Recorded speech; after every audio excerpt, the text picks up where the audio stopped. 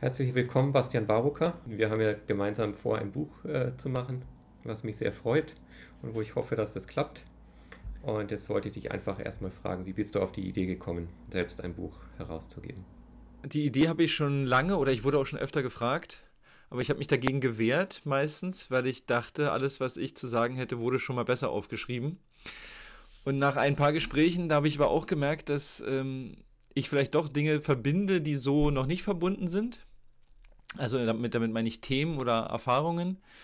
Und dann wuchs die Idee, dass es doch von Wert sein könnte, ähm, so innere und äußere Natürlichkeit zu verbinden, weil ja, das eine Kombination ist, die ich eigentlich sehr spannend finde, weil sie auch authentisch ist, was ich ähm, geforscht habe oder was ich gelebt habe. Ja, und dann merkte ich, es gibt auch schon viel, was ich geschrieben habe und was vielleicht auch schön zusammen, ähm, zusammen geht.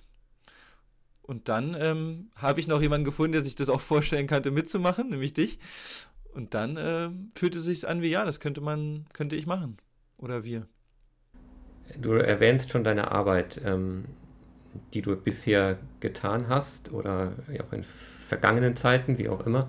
Ähm, magst du das kurz äh, darstellen? Also ich glaube, auf der Homepage steht Wildnispädagoge.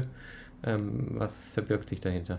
Also ein Wildnispädagoge hat eigentlich ähm, das Ziel, Menschen mit der Natur zu verbinden, mit sich selber und mit der Gemeinschaft, in der diese Person lebt. Also es ist keine klassische Bildung, wo jemand ganz viele Informationen aufsammeln soll, sondern es ist die Frage, wie könnten Menschen verbundener sich fühlen. Und der Schlüssel dazu sind indigene Techniken, die mit dem Wildnisleben zu tun haben. Vogelsprache, Korbflechten, Feuer machen, Spuren lesen, ähm, Kräuter kennen, Kräuter verarbeiten und noch vieles, vieles mehr. Und über diese Techniken, die uralt sind und die sich vor allen Dingen damit beschäftigen, wie wir früher zusammengelebt haben, dazu muss man wissen, dass wir zu 96 Prozent unserer Geschichte als Jäger und Sammler gelebt haben, auch wenn das weit weg wirkt, sind wir dazu gemacht. Und das ist die Arbeit eines Wildnispädagogen in meiner Definition jedenfalls, ähm, über diese Techniken und die Frage, wie lebe ich eigentlich im Wald, Verbundenheit zur Natur, Verbundenheit zu sich und Verbundenheit zur Gemeinschaft zu erschaffen. Und vielleicht noch als letzter Aspekt oder als ein weiterer Aspekt die Frage, wie haben wir eigentlich indigen zusammengelebt? Also wenn wir jetzt Feuer gemacht haben und wir haben was gegessen und wir haben einen Korb und wir haben eine Schüssel gemacht und wir haben einen Kanu und ein Zuhause, dann kommen ja die nächsten Fragen, nämlich wie organisieren wir uns, wie reden wir miteinander, wie leben wir als Gruppe zusammen. Und für mich ist das fast der spannendere Teil, obwohl ich den anderen auch super spannend finde, nämlich die große Frage, wie leben wir denn zusammen? Ähm, und wie leben wir so zusammen, dass überhaupt alle Feuer machen und Körbe flechten und Pflanzen bestimmen und äh, sammeln wollen oder können, in dem besten Maß, in dem sie es könnten. Und da sind wir ganz schnell bei ganz großen Themen, ähm, nämlich wie kann jeder in seiner Kraft leben, was braucht er dafür, wie funktioniert es. Ja, also in einer ganz kleinen Nussschale ist das Wildnispädagogik. Du hast auch selbst in der Wildnis gelebt. Ähm, beschreibst du in deinem Buch ähm, einige Kapitel hast, was hast du daraus für dein Leben für Schlüsse gezogen oder was konntest du davon für dein heutiges Leben, was ja eigentlich ganz anders ist wie in der Wildnis leben, ähm, trotzdem daraus mitnehmen oder? Hm. Also ganz anders, ja und nein. Das ist interessant. Also ist eine tolle Frage, weil es, es wirkt ganz anders, aber ich glaube, viele Sachen sind gar nicht so anders. Also in der Familie zum Beispiel leben hat ganz viel mit Kommunikation und äh, Zusammenleben zu tun. Aber klar, ich lebe gerade in einem Haus. Ähm, was habe ich da gelernt? Vielleicht nur die wichtigsten Punkte. Also Kontrolle, der Mensch kann nur bedingt Kontrolle aufs Leben ausüben. Äh, der zivilisierte Mensch versucht ganz viel Kontrolle auszuüben, das scheitert aber kläglich. Und ähm, anpassen ist der größte Survival Skill. Also wer sich anpassen kann, wer mitgehen kann. Äh, ich zitiere gerne Bruce Lee, Be like water, my friend. Also ähm, das, weiß, das wissen auch Leute, die nicht mit, nichts mit der Wildnis zu tun haben. Wer sich, wer sich mit Natur beschäftigt, also auch mit Musik vielleicht, mit anderen Körpern, der weiß, dass man sich anpassen muss, wenn man gut zurechtkommen will. Also großer Punkt ist Anpassung. Nächster Punkt ist ähm, Kom Komfort finden. Also in der Wildnis oder auch im Leben geht es darum, Komfort zu finden, komfortabel zu sein, sich wohlzufühlen. Es gibt oft dieses Ding, ich kämpfe mich durch die Natur, ich habe mich ein Jahr lang durchgeboxt und jetzt bin ich endlich wieder zurück, wo es gut ist. Wenn wir so gelebt hätten, wären wir nicht hier. Also die Frage ist immer, wie kann ich mich so anpassen, dass es mir gut geht? Und es ist auf einem Segelboot nicht anders als auf einem äh, im Wald. Ähm, so, und das ist eine zweite riesengroßer Punkt. Und der nächste große Punkt ist, glaube ich, eine Art von Demut und Respekt vorm Leben. Also erstens weiß ich nur ganz wenig. Zweitens brauche ich andere Menschen, damit es mir gut geht. Und drittens brauche ich die Natur, damit ich überhaupt leben kann. Und wenn ich das alles verkörpere und leben kann, ähm, dann bin ich auf einem guten Weg. Und wenn ich in Dankbarkeit so viel nehme von der Natur, wie, wie ich bekommen kann und so viel, das noch für andere übrig bleibt, dann äh, habe ich echt viel erreicht. Und davon, von den Dingen, die ich jetzt aufgezählt habe, würde ich sagen, dass ganz viele von denen auch in meinem alltäglichen Leben gelten. Das Buch ähm, soll ja die äußere Natur, aber auch die innere Natur des Menschen zum Thema haben. Ähm, wie würdest du jetzt diese beiden äh, Welten definieren oder was ist für dich die äußere Natur und was ist die innere Natur? Also wahrscheinlich ist es wahnsinnig schwierig, die ganz klar voneinander zu, zu abzutrennen. Aber ich kann nur aus meinem Erfahrungsschatz sprechen. Ich habe mich ganz viel mit diesen Dingen da draußen in der Natur beschäftigt und viele Monate oder Jahre im Wald gelebt und merkte dabei aber, dass wer ich bin, eine ganz große Rolle darin spielt, wie ich da draußen bin. Also äh, wer ich bin, was meine Persönlichkeitsstruktur ist, was meine Muster sind, meine Verhaltensweisen, wird in der Wildnis ganz schnell klar weil die Leute kennen mich da gut und ich bin auch mal in Stresssituationen und wenn Stress aufkommt, dann zeigen sich ja gerne auch Verhaltensweisen, die sonst nicht so deutlich vorkommen. Und dann wurde mir klar, dass ähm, wenn ich sozusagen Schwierigkeiten habe mit Situationen, dann ähm, dann bekomme ich auch Schwierigkeiten im Wildnisleben da draußen. So. Und dann wurde die Spurensuche nach den Tieren oder nach Pflanzen eine Spurensuche nach, wie kann ich denn hier draußen mich in diese Natur einpassen? Und deswegen sage ich so Natürlichkeit, weil die, die Leute da draußen, also Pflanzen und Tiere, Elemente und Steine, sind ja alle sehr im Augenblick und meistens wissen sie sehr, wer sie sind und was sie zu geben haben. Also der Baum, je nachdem wer er ist, weiß seine Eigenschaften und gibt sie voll und ganz ja, manche Tiere munk also lügen auch oder verstellen sich, aber das ist dann auch ihre Persönlichkeit. Und irgendwie mit in diesem Umfeld kommt ganz schnell bei mir die Frage auf, ja, wer bin ich eigentlich? Also die Natur wirft die Frage zurück, guck mal, wir, wir sind hier alle die und die, also wir sind das Wasser, wir sind die Sterne, wir sind der Mond, wir haben unsere Aufgabe, wir machen die. Aber wer bist denn du eigentlich? Und das ist keine direkte Frage, sondern für mich ist das so eine, wie so eine, so eine ganz, die Frage kommt einfach. Nicht, weil jemand mich fragt, sondern weil alle anderen einfach tun, wer sie sind. Und da beginnt dann für mich sozusagen der, der Sprung in die andere Welt, äh, meine innere Natur, mit der Frage, ja, wer bin ich? Wer bin ich außerhalb meiner angewohnten Verhaltensweisen und ähm, Gewohnheiten? Wer bin ich im Kern? Und dann ist so die Frage, dieser Kern, den würde ich als Natur bezeichnen, meine innere Natur. Und äh, ja, da, da kommen die Welten dann zusammen für mich. Also die Natur klopft an, wer bist denn du, um mich zu fragen, ja, geh doch mal los und schau mal bei dir, wer, wer bist du eigentlich? Ja, es ist interessant. Also wie die, die beiden Welten hängen zusammen. Ähm, was ist für dich das, ähm, ja, das, was sie, was sie vereint? Das bist dann du selbst oder bin ich selbst, was die beiden Welten vereint? Oder gibt es noch, noch andere Dinge, die das wo das sichtbar wird, wie das Innere und das Äußere zusammenwirken. Also schon in mir, aber ich glaube, dass ich werde ja immer nur am besten sichtbar in Beziehung mit anderen. Also und dann wird es, glaube ich, mit am sichtbarsten, indem ähm, in den Interaktionen mit den Leuten, mit denen ich zusammen bin, mit meiner Gemeinschaft, wird sichtbar, wie ich oder wer ich bin. Also es gibt ja diesen schönen Spruch, wenn du wissen willst, wer jemand ist, dann schau nicht auf ihn, sondern schau auf seine Beziehungen. Schau, mit welchen Leuten er zusammen ist. Schau, wie er lebt. Und deswegen glaube ich dann, dass diese, diese Schnittstelle zwischen beiden Welten ähm, zeigt sich eigentlich in den Beziehungen, die eine Person führt und wie sie sie führt. Viel mehr als diese Person direkt zu beobachten, würde ich sagen. Und äh, auch, wie sie sich in der Natur verhält. Also, wie sie mit gewissen Situationen umgeht. Weil, wenn dann wieder die Natur anklopft, hier bin ich, also hier bin ich bei minus 40 Grad, hier bin ich bei Hunger, ähm, und dann fragt sie ja auch wieder, wer, wer bist du? Und wie verhältst du dich dann in Korrespondenz zu mir? Und ich, ich denke, da ist so eine Schnittstelle, wo die beiden Welten sichtbar werden. Du hast dich ja jetzt äh, lange die letzte Zeit mit dem Corona-Komplex auch beschäftigt. Ähm, wohin gehört diese Auseinandersetzung mit dem Virus für dich? Ist das äh, die innere Welt oder die äußere Welt? Beides. Also äh, zuerst war es für mich ähm, Wildnispädagogik 1.0 in einer Notsituation, handle niemals in Panik oder behalte die Ruhe.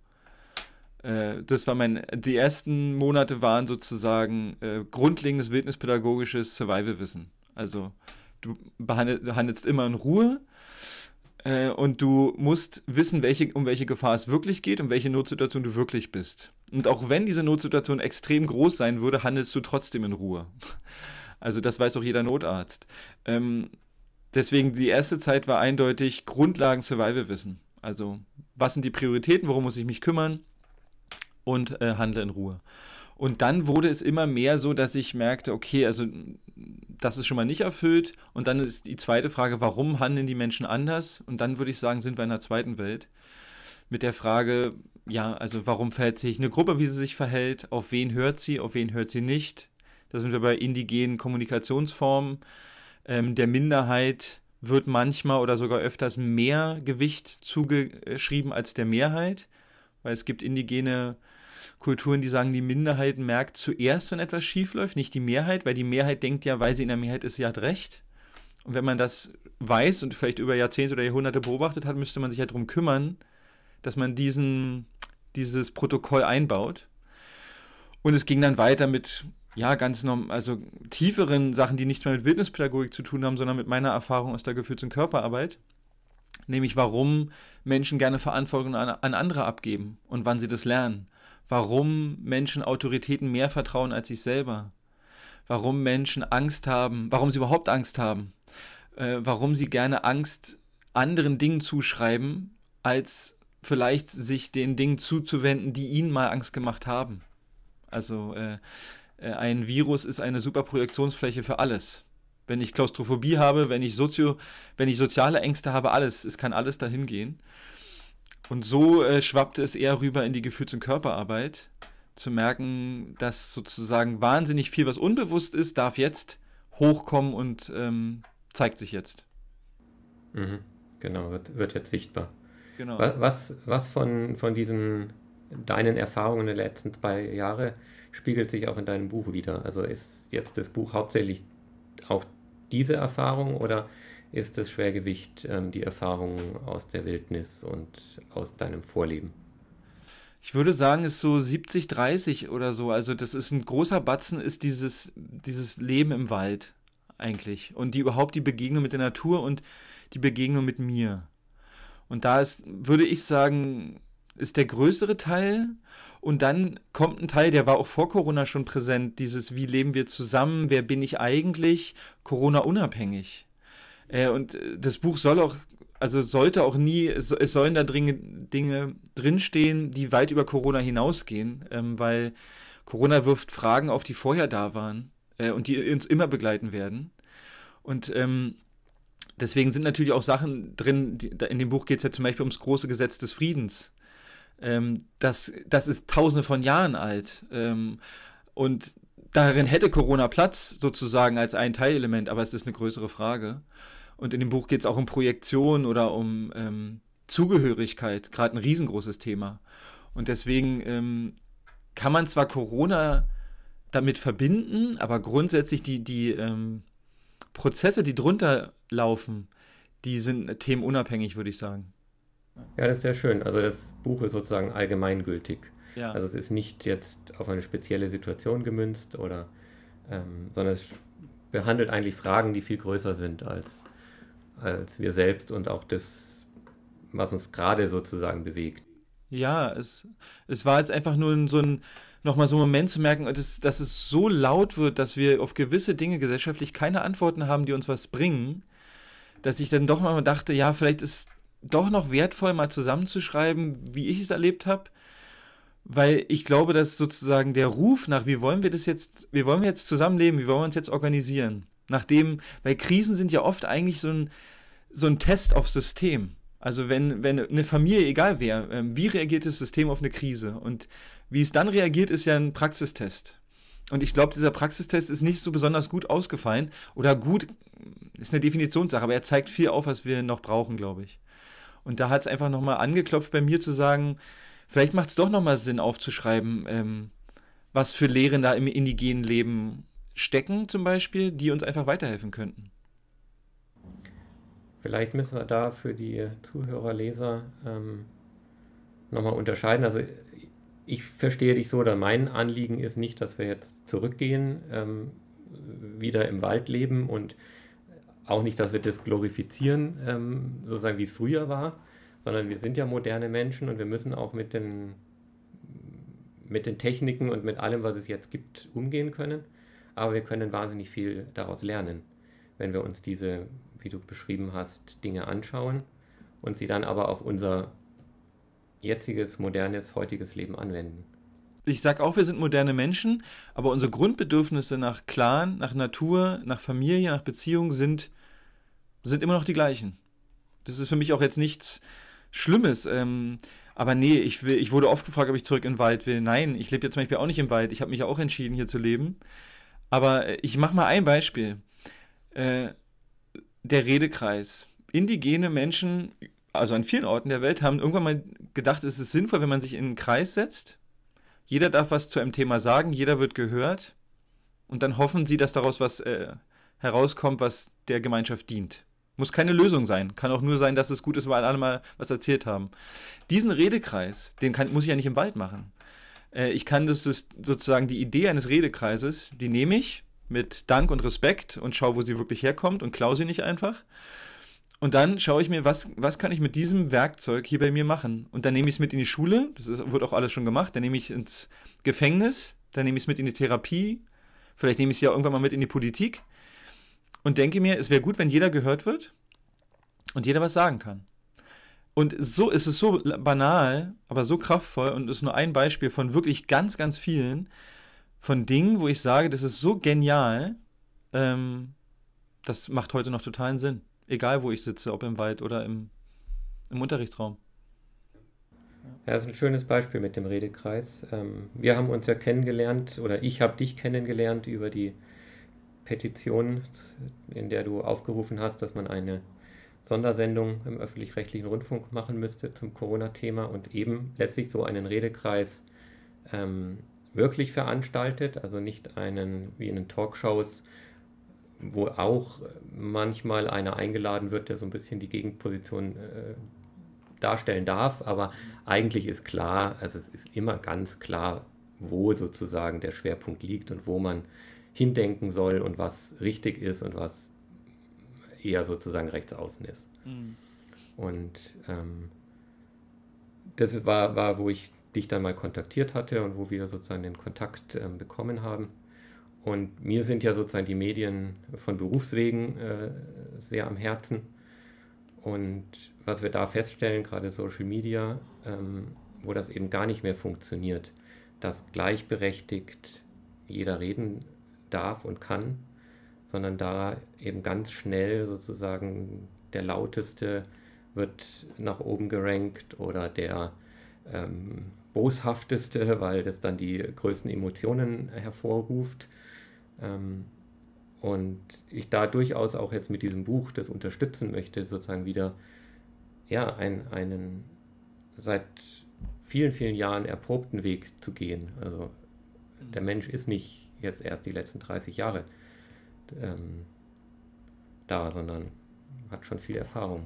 Mhm. Und dass man sich das wieder anschaut und dann aber guckt, ja, wie, wie können wir das jetzt auf heute ähm, anwenden.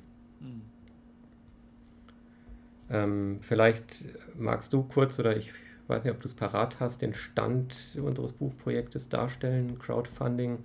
Also wir sind jetzt, ähm, ich habe gerade heute nochmal geguckt, glaube ich, bei 6.500 Euro ungefähr. Von mal geplanten 40.000, obwohl es hochgegriffen war, würde ich sagen. Ähm, es gibt aber viele Unterstützer. Ich habe heute gerade wieder eine Post bekommen, wo mir jemand Geld geschickt hat, gesagt hat, hey, hier, ich unterstütze das Buchprojekt so mit einem Brief. Ähm, fand ich auch total nett.